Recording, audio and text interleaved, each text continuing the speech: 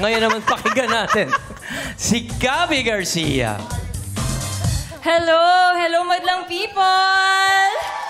Una sa lahat, gusto ko po muna magpasalamat sa Showtime for having me here sa Magpasikat at sa Horado. Kasi, totoo talaga, bata pa lang ako, pinapanood ko na kayo.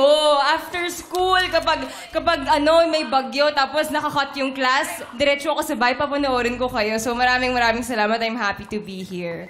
Um, thank you. Thank you for reminding us that there is hope and love in this cruel world. ba? Minsan kailangan lang natin ng reminder to to keep us going. And today nakita namin sa inyo 'yan. Thank you so much for sharing your vulnerability.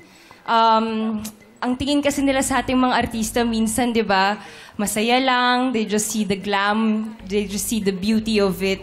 Pero hindi nila alam that we have so many things that we actually hope for. Maraming maraming salamat for sharing your human side of it. And I also want to commend um, the visuals. Napaka, it was such a treat from the dancers, yung LCD, yung LED, yung kay Ryan dito sa likod. Kanina tinatanong ko siya, grabe, hindi ka ba natakot doon? Kasi parang nakakatakot siyang gawin, but still he was so committed and the emotions were really there. It was so real.